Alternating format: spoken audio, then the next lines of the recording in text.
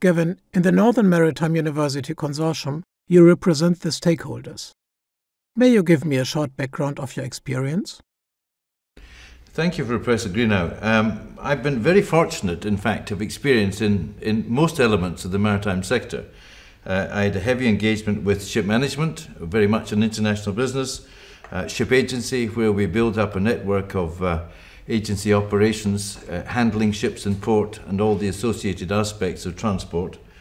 And a couple of projects abroad in uh, the Middle East, uh, looking at the development of ship management systems in uh, Iran and then New Zealand, when in fact the unions felt that I was challenging some of their more traditional approaches to, uh, to, to modern commercial practice.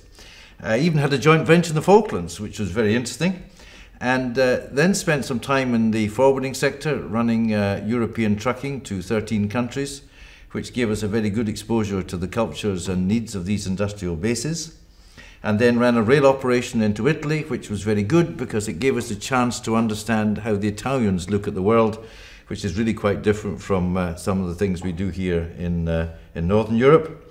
And we've had various other projects with the European Freight Leaders Forum, which represents shippers and transport providers, understanding supply chain, and an organisation called Coastlink, which brings together shippers, ports, and shipping on a pan European basis. So, most interesting experiences that we're able to draw on.